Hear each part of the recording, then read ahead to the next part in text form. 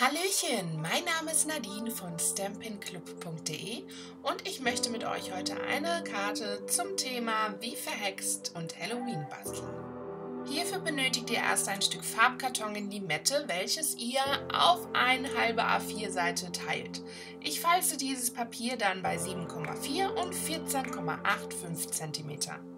Außerdem benötigt ihr zwei Stücke Wie verhext Designerpapier aus dem Herbst-Winter-Katalog im Maß 6 x 9,2 cm und 9,2 x 13,5 cm.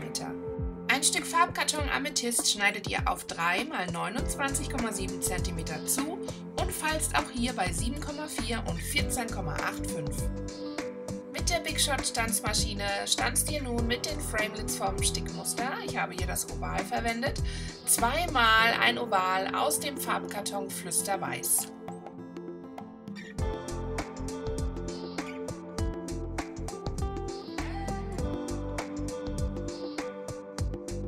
Die Framelits vom Hexenkessel passen super zum Designerpapier wie verhext.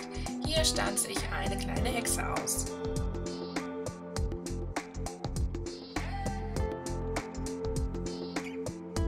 Zu der Hexe gesellt sich dann eine kleine Katze, wofür ihr ebenfalls sowohl Stempel als auch Framelits im Herbst-Winter-Katalog findet. Mit meinem Snail-Klebemittel klebe ich nun das Designerpapier auf meine Grundkarte.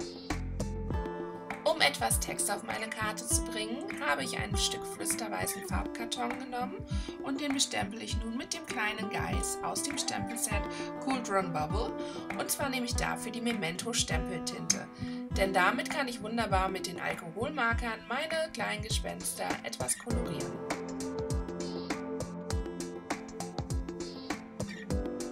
Zum Kolorieren nutze ich den Stampin' Blends Alkoholmarker in. Ich male bei den Gespenstern links und rechts an den Seiten ein paar kleine Striche und verblende diese dann mit dem Farbaufheller.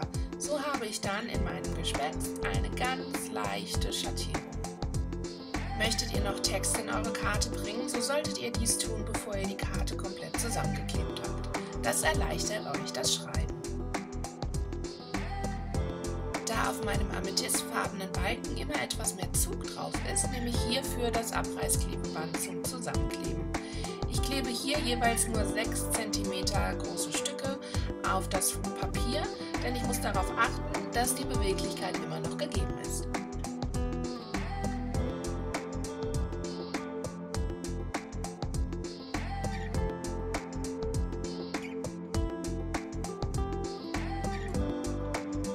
Den Schriftzug Happy Halloween findet ihr ebenfalls im Stempelset Cauldron Bubble. Beim Einkleben des vorderen Ovals achte ich darauf, dass mein Klebeband nur an der unteren Seite, also auf dem amethystfarbenen Streifen und an der linken Seite aufgeklebt wird.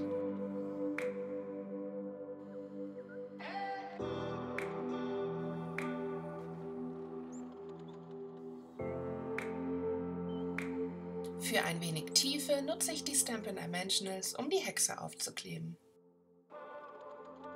Die kleine Katze wird mit dem Flüssigkleber befestigt.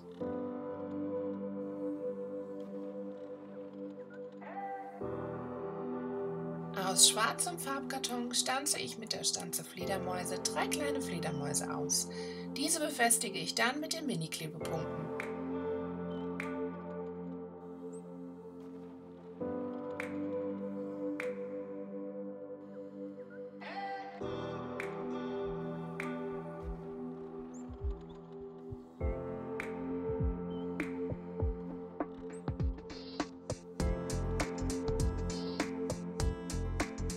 Fertig ist dann auch schon meine Seafold-Karte im Halloween-Look.